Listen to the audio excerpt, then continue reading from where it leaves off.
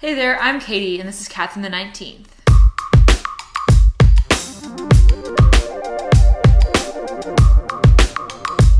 Today, I wanted to share with you my special trick for turning a vlog from something that's pretty average into something that's dynamic and engaging and really fun to watch. Let me introduce you to the J cut and the L cut. If you haven't already heard of this editing lingo, then allow me to explain.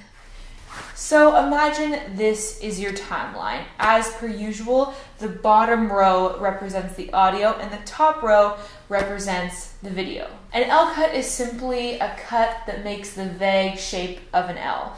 In practice, this means that the audio continues while the video changes.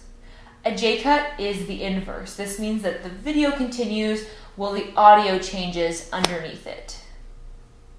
They're named because of the shape that they kind of make in the editing timeline when you make that cut. You can kind of see it, right? Now that we know what J cuts and L cuts are, I want to explain to you why they are so effective at making vlogs dynamic and visually interesting. There are four main reasons why I like to use this editing trick, and I'm going to use examples from four vlogs that I've made in the past to illustrate why I think they work so well. The first reason is, of course, the obligatory explanatory B-roll shot. This shot is super necessary in any vlog where you're talking about what you're doing and then you want to show it as well. This is pretty basic, but it's definitely necessary for any dynamic vlog with any visual interest at all. Storytime videos can be great, but they become a vlog when you do more showing of the story instead of just telling.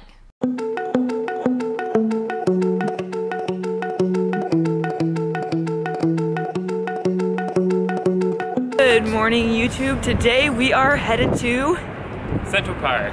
It is going to be another great day. Beautiful in New York City today. Sun is shining. A little cooler, but not much. It's gonna be a great time. The second reason why you would use an L cut is for the classic montage sequence.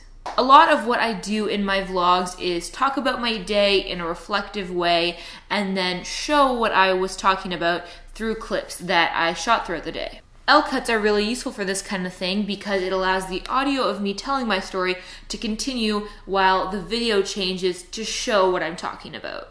We had lunch at By Chloe, which is this really cute vegan restaurant in Greenwich Village that Emily really wanted to go to. Uh, the food was delicious and we all really enjoyed that. Moving on to the J cut, there are two main reasons why I love the J cut, and the J cut is definitely my favorite of the two. Firstly, it's great for narration. Just like the L cut montage trick, the J cut trick is great for using narration while you're showing what you're talking about. I use this one when I want to set up a scene with some establishing shots and then bring in the narration underneath halfway through showing some of the visuals. Here's an example from a vlog I made back in January.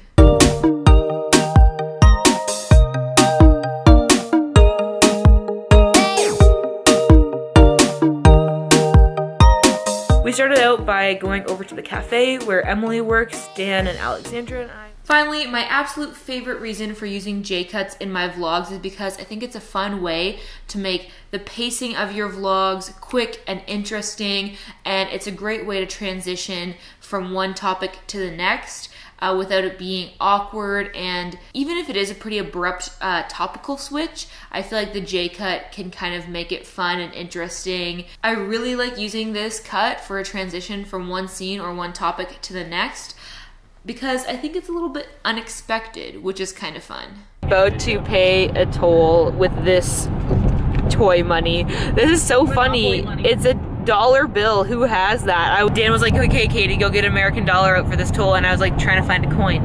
But this is what we got to use. We made it to New York! So we just arrived here. What time is it, Emily?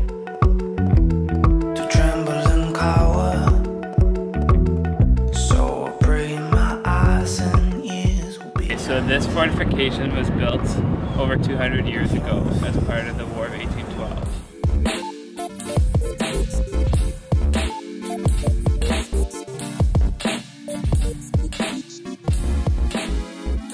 Okay, okay, I've got a proposal for you. Okay, what? Tell me how you feel about this. Uh huh. Two extra large pizzas, one spinach feta tomato, one plain cheese on one half, the other half Emily's. And then get like garlic cheesy strips as well. I knew this was coming. Wow, I would have felt so supported. it goes in age. It goes. Dan is one year older than Annika, who's one year like, older not than even a me year. you. No, no, you're almost. You and Annika are almost like. You're only two months apart. Yeah. Question is becoming how many different ways can I film cheese fries? People think that global warming doesn't exist. I don't know. Yeah. I was so shocked that you just uh, were so deadpan. Filming this. Like the world might be getting warmer, but it's definitely not because of human involvement. Happy birthday to you. Woo! Happy birthday to you. Happy birthday. I also like this cup because I feel like when you use it the right way, it kind of exposes the medium a little bit. It brings the viewer away from the screen for a second and allows them to recognize this has been edited. This is a video that somebody made, and it's not just direct stream of consciousness, you experiencing my life. And obviously, if we sit down and think about it for a second, anybody can recognize that. But I think it's interesting to put it into a video because it makes you do that double take when you're watching it. And normally in filmmaking, you wouldn't want to do this kind of thing. You don't always want to break the fourth wall because it kind of takes the viewer out of the film a bit and out of the story. But I think in the context of vlogs, especially, it's really interesting because it almost makes the story feel a bit more whole. A big part of my stories when I'm vlogging is that I am recording myself, right? It's not just supposed to be a film where the cameras are not at all a part of the story. It's just the characters. But in my case, the cameras become kind of like characters that have points of views and I think that using this J cut where you can see me turn away and pause while the next clip of me starts talking, it sort of makes you realize these things and brings the whole creation aspect into the storytelling itself. So, like I said, that's not always going to be a really great tactic, but I think with the genre of vlogs in particular, it brings an interesting dynamic to the storytelling. Anyway, that's all I wanted to share with you about J cuts and L cuts today. I hope that you guys will try them out in your vlogs if you haven't already, because I think it's just an interesting way to add something different to your vlogs rather than everything being straight cuts from new video, and new audio to new video and new audio it just patches it together a little bit nicer and makes it feel more professional and easy to watch, I think. If you found this video helpful or interesting, then please give it a thumbs up. I always appreciate the encouragement. And if you have any questions about the content that I covered in this video or suggestions for future videos about editing and videography, then please leave them in the comments below. I will be looking through them after I upload this video, and I always love to chat with you guys down there.